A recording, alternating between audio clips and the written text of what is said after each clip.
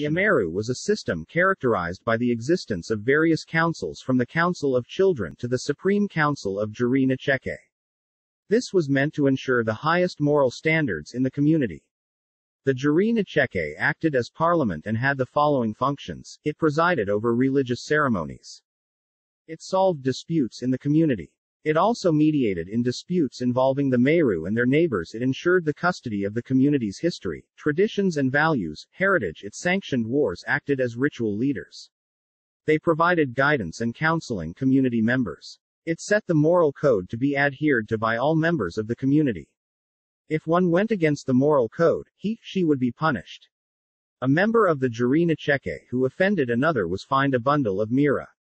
A warrior who violated the code was fined a bull, an elder who violated the code was fined a bull or a goat, a woman who broke the code was fined a big pot of cowpeas.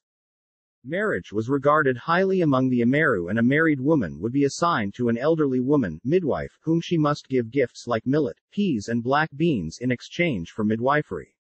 Any spouse who involved in adultery or any girl who was not a virgin at the time of marriage was stoned to death by a stoning council made up of male initiates. Marriage was exogamous, no one was allowed to marry from their clan.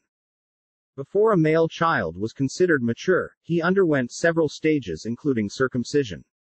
Before circumcision of both boys and girls, two ceremonies were performed after which they became full members of the community. The time of making spots where the ear hole perforation would be done. The time of actual perforation of the ears. The Ameru believed in the existence of a supreme being called Fafa Witu who was a loving father and took care of all. He was omnipresent. The Ameru also believed in the existence of spirits which either brought happiness or tears depending on how one lived on earth.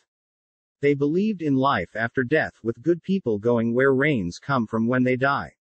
Libations were offered to ancestors to quench their thirst and relieve their hunger building houses in the Ameru community was the work of women while men defended the community.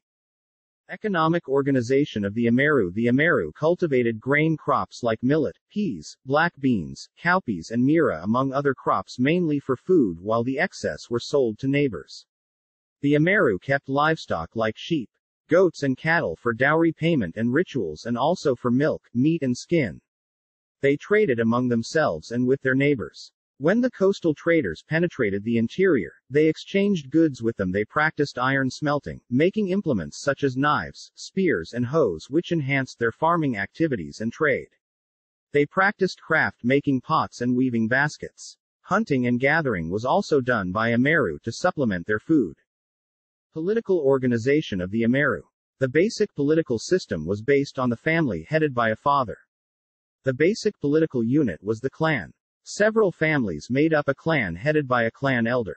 The Ameru had a system of councils and age groups which oversaw the administration of the community. Every Meru belonged to the relevant council, e.g. the Children's Council, Council of Elders Council of Warriors. The Supreme Council was known as Njuri Ncheke.